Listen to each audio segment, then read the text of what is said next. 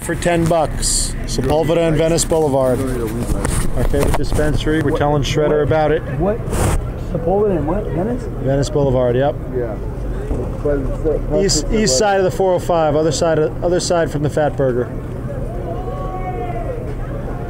You'll see it. Right by 7-Eleven. This joint's about a gram. Yeah, yeah. It's good. Good size. Stuff. Good stone, dude. We smoked it this morning. Yeah. You can taste it. It's got a little bit of other morning. and It's like. It, it, um. Where's stone? that.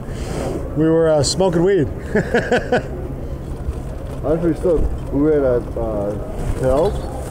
Oh, yeah. I was stoned, dude. All right, well. That's why we smoke weed. Yeah, yeah. We get medicated. That was a good time at Tal's. That's a good. We were chilling. Yeah. huh? Two dollars? God. Dude, I'm going there. Yeah. That would last me all week. Yeah. The Shredder. Man of the people. There goes Shredder. Happy birthday, Shredder. Here you go. Keep that one. Keep that one. For later. 48 years, Shredder. What's it going to be all about? Keep it herbal? Lots of ganja, Yep. lots of cannabis, lots of skating, Eating good. swimming, eating good. There you go. Now you're talking. Sleeping good. A lot of. Yeah, there you go. Positive vibes. Yeah. Venice Beach.